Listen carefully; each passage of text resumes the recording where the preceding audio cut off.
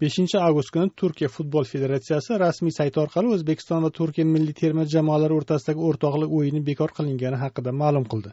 Abdulloh avchi shogirdlari o'n to'rtinchi avgust kuni toshkentda paxtakor stadionida o'tadigan uchrashuvga kelishi haqida iyul oyining boshlarida rasman e'lon qilingan edi.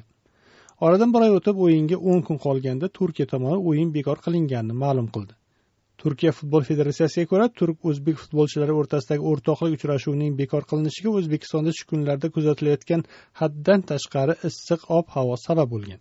Turkiya terma jamoasi o'zbekiston bilan o'n to'rtinchi avgust kuni bo'ladigan o'yinni bekor qildi. O'yin kuni toshkentda havo harorati yuqoriligi va o'zbekiston futbol federatsiyasi kerakli sharoitlarni yaratib berolmasligini bildirgani uchun o'yin bekor qilindi deya izoh berilgan turkiya futbol federatsiyasi rasmiy saytida.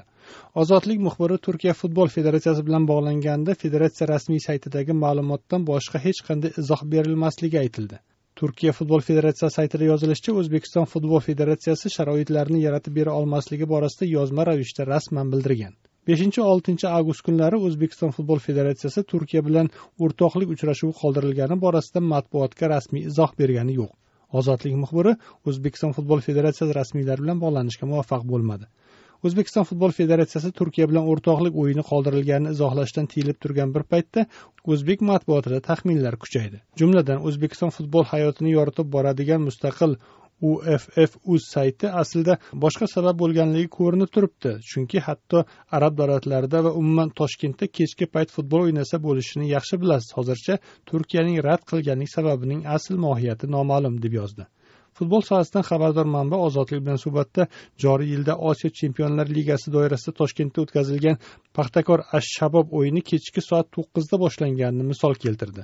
Ayni paytda boshqa bir manba o'zbekiston hukumatining xavfsizlik borasidagi tahlikalarni sabab qilib ko'rsatadi. Mustaqillik bayrami arafasi toshkentda xavfsizlik choralari kuchaygan payt. O'ttiz qirq ming futbol ishqibozining yarim kechasi ko'chada yurishni hukumat xohlamasligi tabiiy. Turklar o'yinni kechki paytga belgilashga rozilik bildirgan taqdirda ham bayram arafasi rasmiy toshkent buni istamasligi aniq deydi ismini oshkor qilmayotganimiz manba. Futbol sohasi jurnalistlaridan biri esa turkiya o'zbekiston jamoalarining o'rtoqlik uchrashuviga moliyaviy masalalar ham aralashgan bo'lishi mumkinligini taxmin qiladi. Odatda o'rtoqlik uchrashuvlar bilan bog'liq moliyaviy masala ikki jamoa o'rtasida kelishiladi. Mezbon jamoa mehmon jamoaga kelishilgan pulni berishi lozim bo'ladi balki turkiya jamoasi tekinga kelishga rozi bo'lgan bo'lishi va keyinchalik gana jamoasi kattaroq summada pul taklif qilgan bo'lsa turklar o'zbeklar bilan o'yindan voz kechgan bo'lishi mumkin deydi ismini ochiqlamayotganimiz jurnalist. Turkiya terma jamoasi o'zbek futbolchilari bilan o'yin o'tkazilishi rejalangan o'n to'rtinchi avgust kuni gana terma jamoasi bilan istanbulda o'rtoqlik o'yini o'tkazishini ma'lum qildi. Ayni paytda turkiya o'zbekiston jamoalari o'rtasidagi uchrashuvning bekor qilinishiga siyosiy sabablarni vaj sifatida keltirganlar ham bor. O'zbekistonning turkiya bilan munosabatlari sog'lig'icha qolayotganini nazarda tutgan tahlilchilar o'zbek rasmiylari turk futbolchilarini o'z poytaxtida ko'rishni istamaganini taxmin qilishadi.